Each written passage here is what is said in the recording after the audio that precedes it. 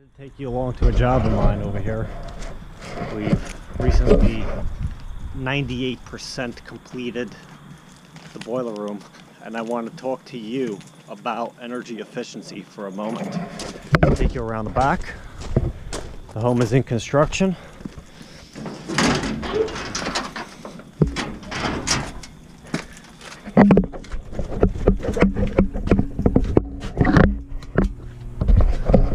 Okay, so one light, two light. So let me just show you what we've got over here. So we've got a Viessmann B1 HA boiler, uh, manual reset high limit. We've got a magnetic dirt separator, expansion tank, low water cutoff. We've got the feed set up with a bypass. We've got a valve over here, which is really important to isolate the expansion tank in the event that this ruptures. You don't have to take any water out of the system. We've got the polypropylene venting over here, and this is super important that you use polypropylene because it is rated up to 230 degrees Fahrenheit, while PVC is not. Uh, we have the covers off over here because we are still working on it. Uh, we've got the covers off on the electrical box. We do all the electric in-house. Everything's in-house. Soup to nuts from heat loss study uh, to building it, designing it, electric, everything. We take all the responsibility. Uh, we've got room for future expansion. We've got three zones coming in. We've got a basement. We've got a master ba uh, bedroom bathroom area. And we've also got a uh, loft coming in.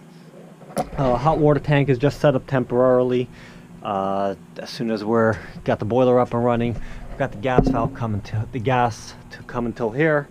Uh, we just got to complete the run, and that is why I want to talk to you about energy efficiency.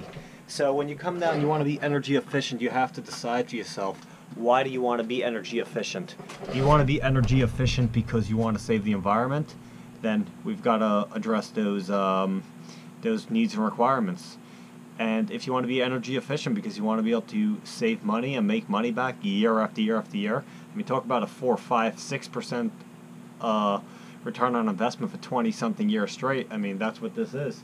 Uh, you've got a 96, 97% efficient boiler that's running at 97% efficient. Uh, save uh, two, three thousand dollars a year sometimes, depending on your house. Uh, maybe save five hundred dollars a year. Then it may not be worth it for you. But if you can save three, four, five, six, seven thousand dollars a year, that's going to be amazing. And um, I mean, talk about efficiency long term. We've got to see what type of fuels you've got, what's the price of the fuel, the cost of electric. Um, you know, everybody's big into mini splits. Mini splits not so green. The refrigerant is not so green how it's produced. When it leaks out to the environment, it's not so green. Uh, the electric, it may be cheap to run, but at the same time, you got to also take a look at the electric.